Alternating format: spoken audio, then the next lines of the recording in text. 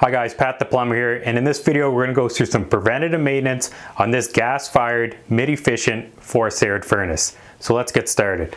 The first thing is to do a quick visual and audible inspection while the furnace is running. Listen for any squeaks or whistling noises, which could indicate worn blower fan bearings or a clogged filter. Check the venting system on top of the furnace for any damage. The most important and easiest task to keep the furnace running properly and prolong the life of its components is replacing the filter. There's no correct answer on how often to replace the filter, but it should be determined by visual inspection at least once a month if it requires a replacement. Lifespan of the filter greatly differs from factors such as shedding pets, dusty climates, and the amount of time the blower fan is being run. The filter has three important markings when shopping for a replacement. The width, length, and depth, the direction of airflow, and the filtration level. The dimensions must match, but the filtration level is of your choosing. If you are unsure of the direction of airflow, slide a paper towel in the filter slot while the blower is running to determine. I personally like to draw an arrow on the sheet metal to leave the guesswork out for my clients. Once you purchase the replacement filter matching your original dimensions, it can be installed by matching the direction of airflow arrows.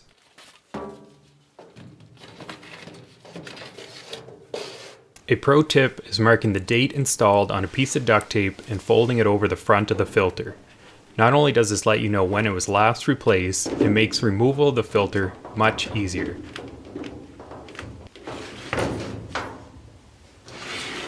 Before we get into the furnace itself, it's a good idea to check any makeup and combustion air intakes. They make sure the furnace has enough fresh air to complete its combustion efficiently and are located outside the home. Vacuum any leaves, dust, and debris. Before we remove the furnace panels, it's important to shut off the power switch. If you're unsure where the switch is and have an unfinished mechanical room, you can follow the wiring out of the furnace. You're now able to remove the panels. Some panels may be held in place with screws or clips. These just slide in and out of place. With the panels removed, vacuum any loose dust and dirt. Wipe down any large buildups of dust as well.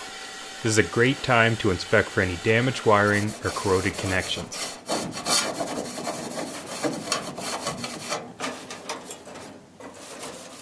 This particular furnace's blower is direct drive. If your blower is belt drive, the belt should be inspected. It's best to slide the belt over the pulley and remove to inspect. Flip the belt inside out and check for cracks or splits.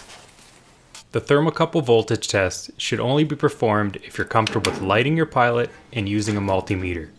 Turn the gas control knob to the pilot setting and remove the thermocouple from the gas control.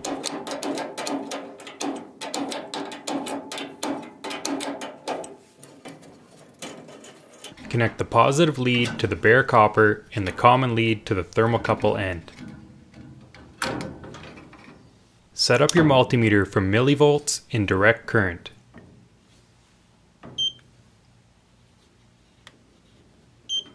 Light the pilot as you normally would by holding down the pilot knob and lighting the pilot. Continue to hold down the pilot knob until maximum voltage is reached. A healthy thermocouple should read between 17 and 32 millivolts. With the thermocouple test completed, reconnect the thermocouple and relight the pilot. Turn the control knob back to the on setting.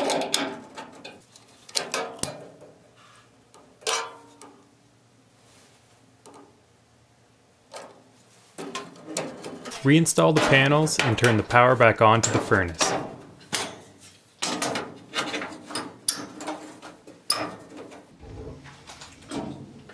The final and most overlooked task is checking and replacing the thermostat batteries if applicable. Performing any or all of these preventative maintenance procedures will help prolong the life of your furnace and in the end, save you money.